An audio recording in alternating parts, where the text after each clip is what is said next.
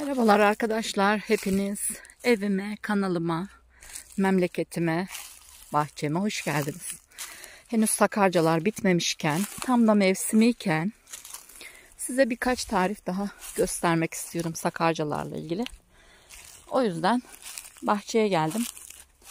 Yine bu güzel çiçeklerin arasında sizlerle birlikte biraz daha sakarca toplayacağım bugün. Çıkartacağım topraktan. Önce size bahçemin güzelliklerini göstermek istedim.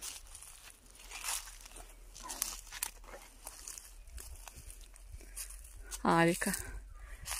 Bu mevsim çok güzel. Çiçekler çok güzel.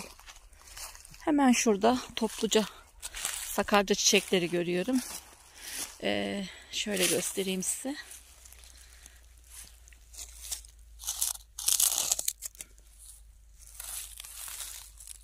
Bakın.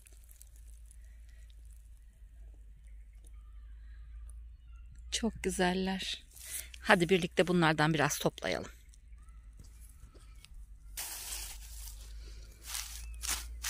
Bakın arasında da yine şey var.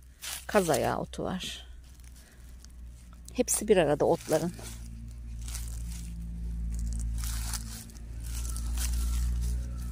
Hmm. Fena da değilmiş. Kökünü bulalım.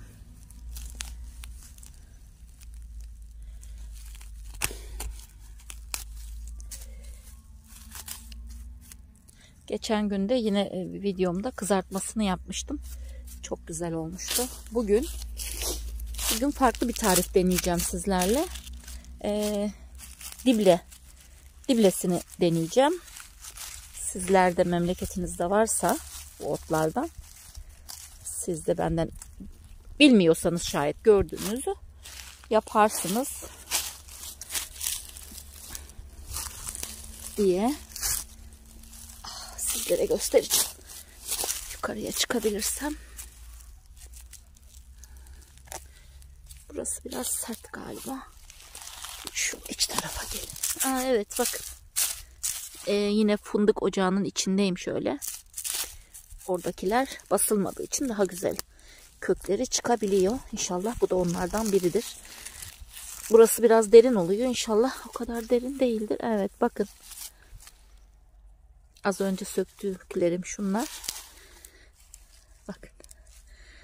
Çok güzeldi. Şuna da bakalım.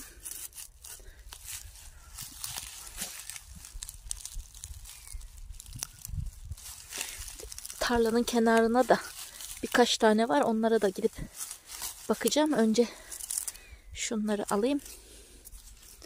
Yani bunlar biraz küçük çok büyük değil. Olsun. Şu çok küçüklerini de tarlama atıyorum. Seneye çıksınlar diye. Seneye tarlada olsun diye. Tarladakiler yumuşak olduğu için daha çok oluyor çünkü. Evet. Bu çokluymuş o yüzden biraz küçük oldu. Burada da var. Güzelliğini sevdim. Lezzeti de bir o kadar güzel. Lezzeti de çiçeği kadar güzel. Şöyle. Şurada var bakalım çıkacak mı?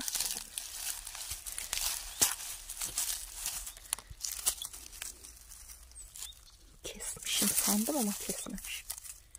Evet. Bakalım yine bu fındık ocağının içindekilere bakalım. iri olanlara. Onlar iri biraz daha.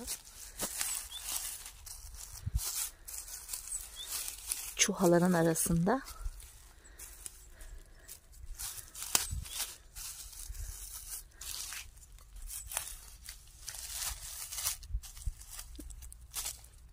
da güzel.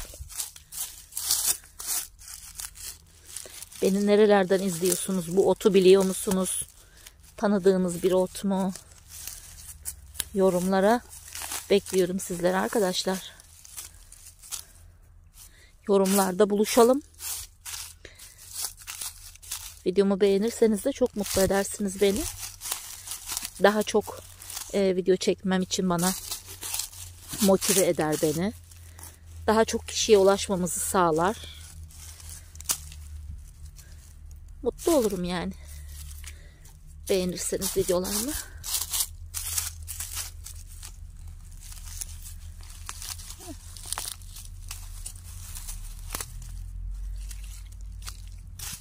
Şöyle bir donayım ocağın etrafına bakın. Şurada var. Bakın.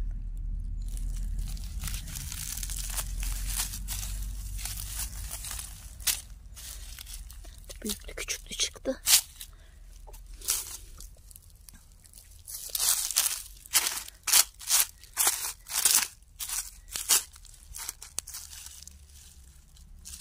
O küçüktür diye düşünüyorum. Çok çok küçüklerine değmez. O da istemiyorum. Bakalım.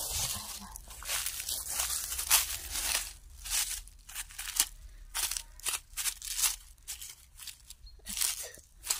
Kökü neredeymiş? Kesmemek için önce kökünün yerini tespit etmemiz gerekiyor. Ki kökünü kesmeyelim. Çok büyük değilmiş ama olsun. Taş da var altında arkadaşlar. Taşa da denk geliyor. Bu da küçük. Bir de bunu deneyelim bakalım. O da fena değil.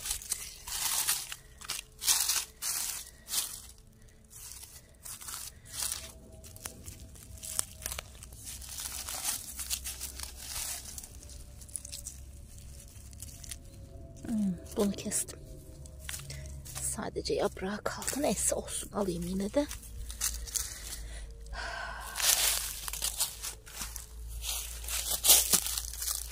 Şurayı da bir deneyelim bakalım bunlar nasılmış. Bunlar çok bir aradalar. Çok büyük olacaklarını düşünmüyorum ama deneyelim bakalım.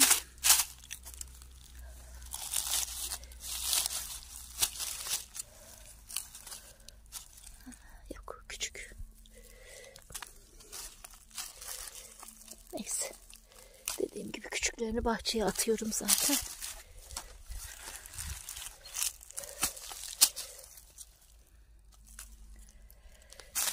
Diğerlerine bakmaya gerek yok. Şurada biraz büyük olabilir gibi geldi bana. Bakalım.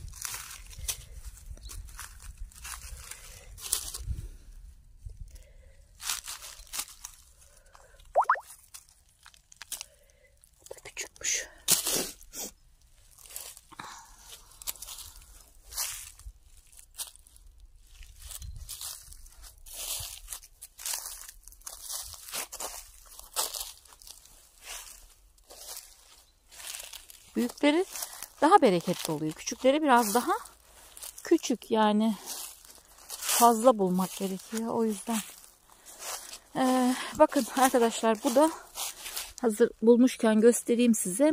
Bu ot dana kıran deniyor bu ıı, çiçekli ota. Şöyle göstereyim. Yen yenmeyen bir ot.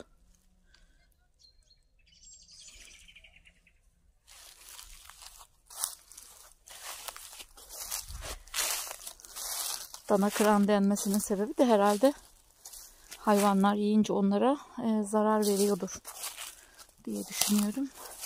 Ben biraz daha toplayayım. Ondan sonra buluşalım. Bakın buradan da arkadaşlar sakarca buldum. Şu an tarla kenarındayım. Buranın sakarcalarının e, kökleri biraz daha büyük oluyor. İnşallah çıkartabildimse çıkartamadım. Evet. Ha, kopmamış. Kopmamış. Onu alırım ben şimdi. Bir dakika. Evet. Bakın. Diğer önceki topladığıma göre bayağı bir güzeller. Bunlar küçük.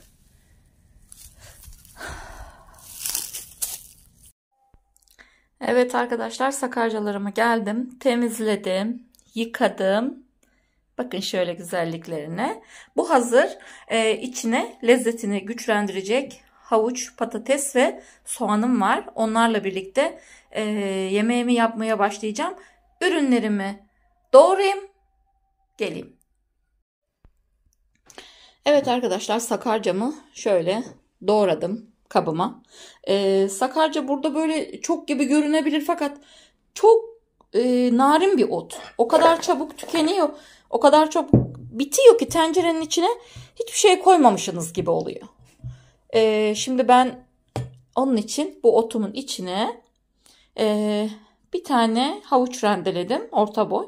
Bir orta boyda patates doğradım. Küçük küçük havuçların e, pardon sakarcaların kökleri kadar doğramaya çalıştım. Dikkat etmeye çalıştım. Şöyle güzelce bunu birbirine karıştıralım tenceremize koymadan önce.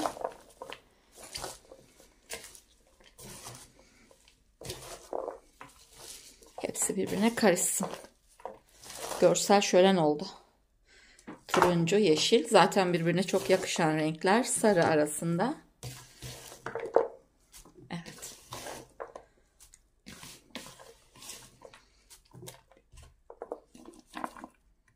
Evet. Şimdi e, şu araya biraz e, pirinç koyacağım.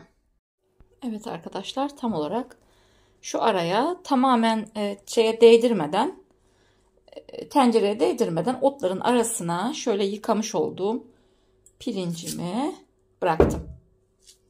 Şöyle üstünde böyle biraz kapatayım. Tuzunu ilave edelim.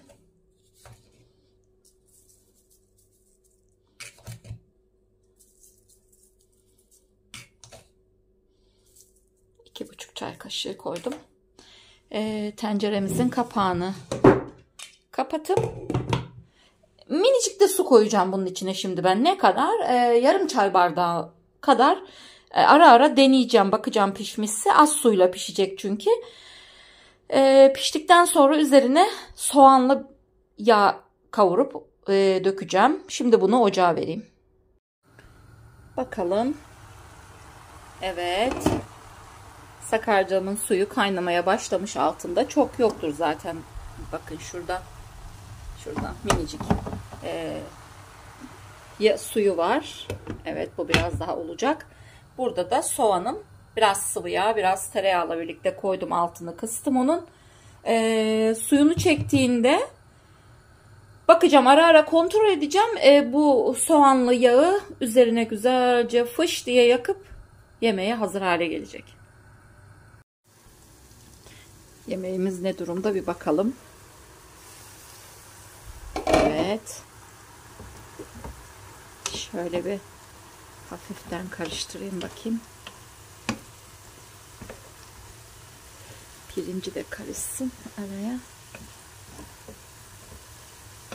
Bakın içinde patatesi havucu olduğu halde yine de kayboldu ot neredeyse. Tencerenin dibine kadar indi. Çok narin bir bitki. Çok çabuk azalıyor ama bir o kadar lezzetli. O yüzden e, onu yemekten vazgeçmiyoruz asla. Soğanım da oluyor. Biraz daha pişsin. Yemeğimizi bir kontrol edelim.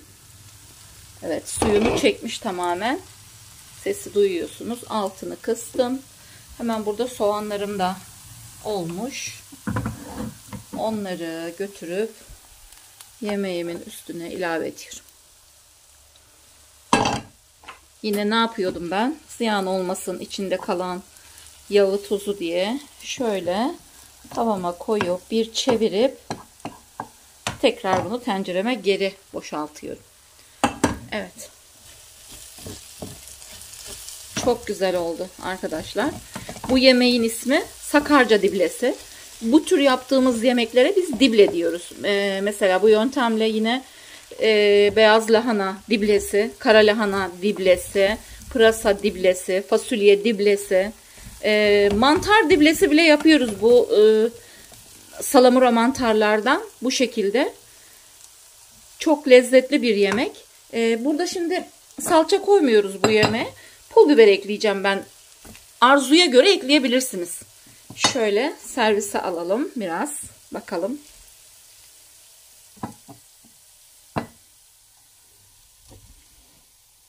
Evet.